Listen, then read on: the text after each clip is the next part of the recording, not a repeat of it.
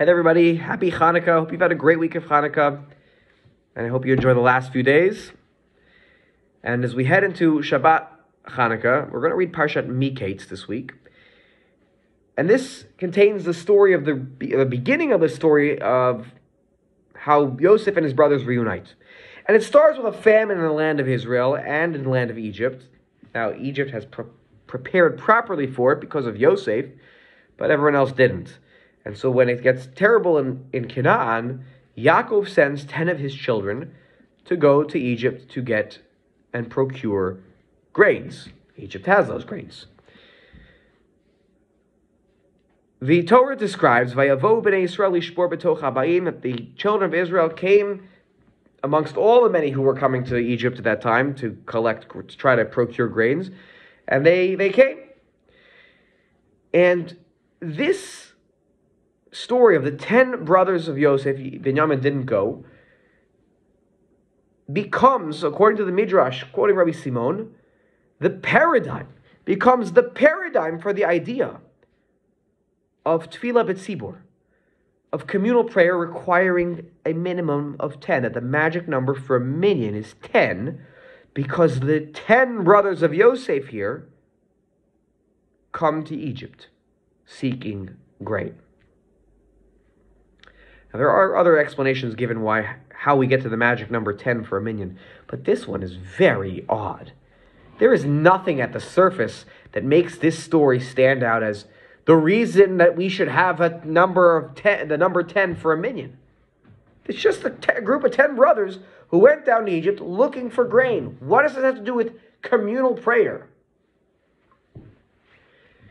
So there's another midrash that picks up on the language used when describing the brothers of Yosef coming down to Egypt. The Torah says, "Vayerdu ache Yosef asra," that the brothers of Yosef came down as a group of ten. Now, if you look at the context of the story there, at the beginning of Perik uh, Mem Bet, there's n- there's nothing about this story that would have required us to say, and that then the brother the brothers of Yosef went down. We should have said that the children of Yaakov went down, because Yaakov ordered them to go down to Egypt. So it should have said, "Vayerdu b'nei Yaakov or b'nei Yisrael asara."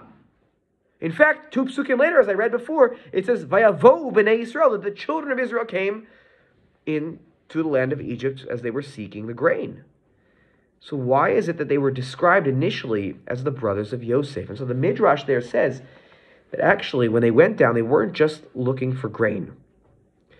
They had this tremendous guilt for what they had done years ago to Yosef. Something we actually see play out in the story in the text of the Torah. There was tremendous guilt that they did this. Years later, they clearly regret it. And they all, the Midrash says, agree that when they were going to go down to Egypt, because they had a good had a feeling that that caravan when that, that he got sold, uh, you know, uh, when he emerged from the pit, he got sold into the, the caravan, went down to Egypt. Maybe he's in Egypt. And so as they go down to Egypt, they're not just looking for grains, they're looking for Yosef. It's an amazing midrash. It speaks to probably some level of, it's just realistic in some ways that they kind of always kept their eyes open wherever they went in life. Maybe they could find Yosef, make amends for what they had done. Now, this is all very nice, well and nice, but what does that have to do with a minyan being the magic number 10? How does this moment in time when they go down to Egypt looking for grain and for Yosef have anything to do with Tefillah B'tzibur, praying in the context of community?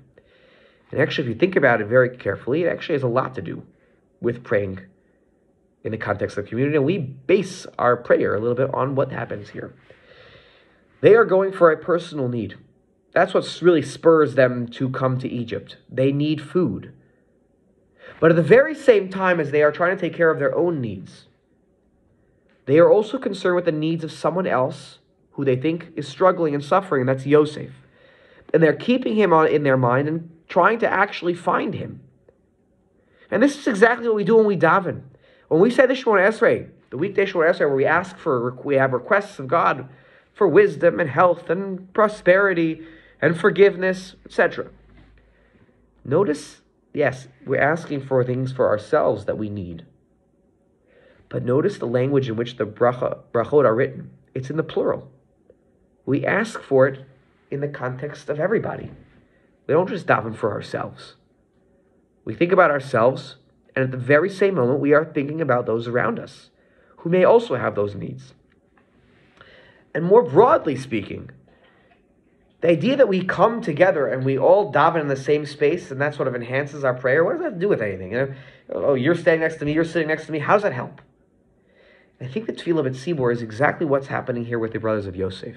They're not just concerned about themselves, but what they want to do is bring peace and prosperity to the group as a whole. And that group was lacking Yosef, and they were looking to fix that brokenness that they created, but they were looking to fix that. They saw that there was someone out there who wasn't feeling the love. And tefillah b'tzibur, praying in the context of community, is not just about praying, but it's actually supposed to bring us together as a community. That is, that is supposed to be the result of praying in the context of community, that we feel a sense of that community, that you care for me and I care for you, that it's not just about ourselves, that it creates a community where there is a feeling of love, of mutual respect, of peace and of tranquility. That is Tefillah B'Tzibur. May this story of the brothers of Yosef seeking to find and make things right with Yosef as they take care of their own needs, may this inspire us to continue to have a community which is filled with love, filled with respect, filled with peace and tranquility, even with those who maybe we disagree, but they're part of our community, they're part of what we're doing here and they matter.